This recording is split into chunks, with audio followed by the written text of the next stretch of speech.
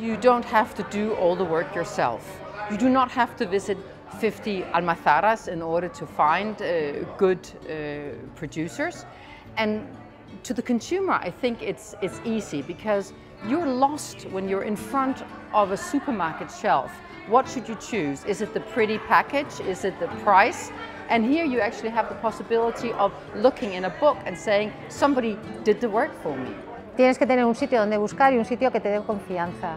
Y una guía que reúna estos aceites es pues como la Biblia de, de los amantes del aceite de oliva virgen extra.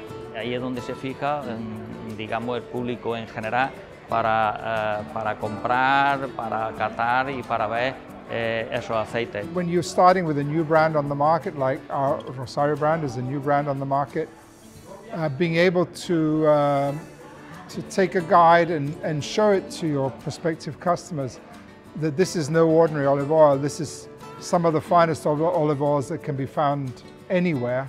Uh, makes a huge, huge difference. Una guía permitirá un conocimiento más cercano de los AOVES y la divulgación con una guía permite la sencillez del manejo al consumidor final y al distribuidor también.